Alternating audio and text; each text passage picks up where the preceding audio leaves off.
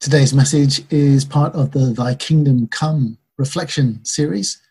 We're encouraged each day to pray for five friends that they may come to know Jesus' love. Day one Jesus. God so loved. Reading from John 3, verses 16 and 17. For God so loved the world, he gave his only Son, so that everyone who believes in him may not perish, but have eternal life.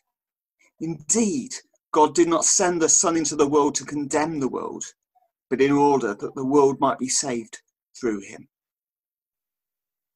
John 3:16 is one of the best known verses in the Bible because it emphasizes God's love for everyone.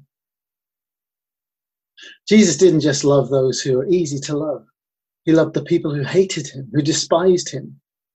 He loved the people that others looked down on. Didn't just love some people.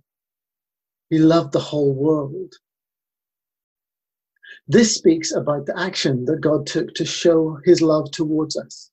It shows us how love is an active word.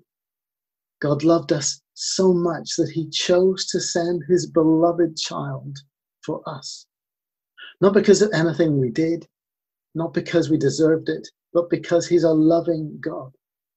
God's love is selfless and sacrificial and shows us what we are worth to him.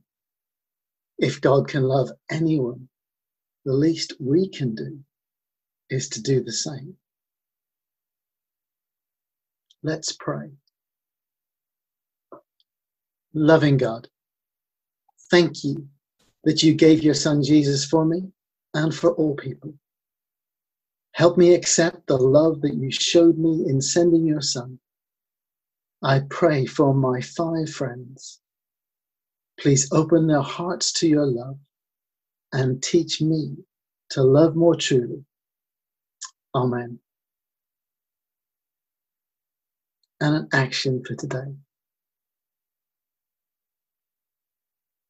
Ask yourself is there anyone that comes to mind who God may be bringing to your attention?